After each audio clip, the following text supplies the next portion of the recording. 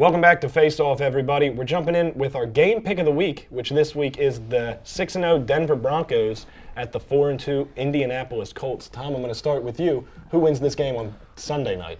Originally, I thought it was going to be the Colts, but the way they played against the Chargers just completely flipped my mind. I, I think the Broncos are definitely going to are going to pull through with that one. Yeah, the Chargers aren't a good team, team by Yeah. any means, but I'm taking the Colts. They've upset the 49ers and the Seahawks already this season.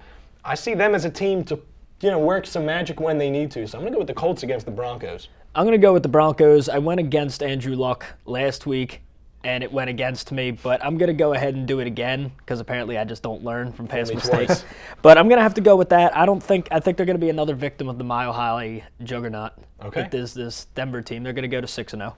All right, Derek, let's go final thoughts for you. Final thoughts. I was very surprised that this was not one of the top things we were going to talk about on this show, the Adrian Peterson Mm-hmm. situation, and just absolutely just sympathy, just outpouring from the community, from the Absolutely. country, and it's incredibly touching to see everybody coming out to help the guy. He's one of the best players in the league, one of the best running backs, if not the best. Yeah. In fantasy and statistically, but nobody deserves something No, like that to not at all. happen. And it was breaking news. It's all over the tabloids, the newspapers, and just heartfelt wishes for the Peterson family. Yeah.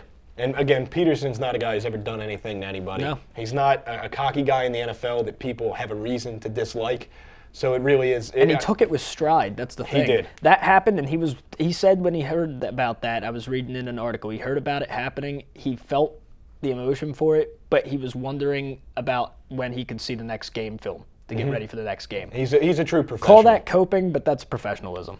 Yeah. Tom, your final thought for My today. final thought is also on the, the Adrian Peterson thing. It's just Okay. it's really sickening how why anybody would even think that that's a rational thing to do to Mm-hmm. anybody. What, Whether it's a two-year-old kid or a, a 30-year-old person, just beating someone like that is just un, un ugh, it's ridiculous. I really don't even have It's words for it. unfathomable. It's, Yeah, it's you can't think unbelievable. of how people But yeah, do but that. I've never heard anybody say, "Hey." Uh, I don't like Adrian Peterson. He's a respectable guy. He's, No, absolutely. No, he's he's he's a great human being. Just mm-hmm. and he's had a he's had a rough life. And I remember reading in a different article how he was like, you know, I don't, I don't I'm playing on Sunday. Mm-hmm. Like that Yeah. he he I, I can't believe he didn't like he take knows- a week off. He's like I'm playing on He was Sunday. Like we said, he's, Yeah. he's a professional. He knows He- what he's got to do and what he's expected Yeah, to he's do. he's unbelievable. He's Yeah. a great he's a great man. All right, but I'm going to cheer things up a little bit because we got a little down for a Yeah, second. yeah, let's bring it I'm up gonna go ahead and I'm going to I'm going to make a prediction. Okay. Okay. I'm going to come up with an This'll obscene prediction, and it's going to be right because that's how I roll. Okay. let's New see. York Giants.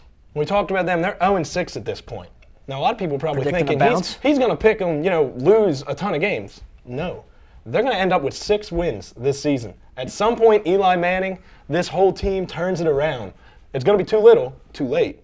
But they're mm-hmm. going to bounce back. They're going to win six games this season. Six games. You are out of your mind. I, I, I know, but it's the good insane. kind. It's like the Jim Carrey out of your mind. You know what That is a though? good kind. You know what though? I'm not. I'm not gonna knock you for that just because I mean it's not a very bold decision. I mean saying that they're gonna win six games, that's great. It's not like you came out. I thought you were gonna say, "Oh, they're gonna win the division." It was just like They could. It's not that ridiculous Yeah. at this point. At this Having- point, they really could. having them get six wins isn't incredibly impossible. It's very unlikely that they're gonna do Mm-hmm. it because they have shown no inkling of coming back from it at all thus far. I just think they have too many problems. but we'll see. That's what I'm going I was with. the optimist the whole episode. That's I'll true. let you be you, the optimist. You can now. remember this in a couple weeks when they've got like they're four and six all of a sudden. Kyle's looking a little bit better. Tom, let's go with your game ball for this week. My game ball for this week goes to Big Papi, David Ortiz. Mm-hmm. That I, I swear when I s- when I saw him get up to bat with the bases loaded, I said to myself, he's hitting this one out. Yep. I, I don't know how I predicted it. I didn't say it out loud, but like right after he hit it, I was like, man, I should have said it out loud. I would have looked like a genius. But game, game ball, David Ortiz. All right, Derek. What about you? I'm actually doing something. I think this is the first time it's been done on Face Off. So let's see. This might be memorable tape. I'm splitting the game ball in half. I'm Okay. Giving it to two people. It's a New England version of game ball for me.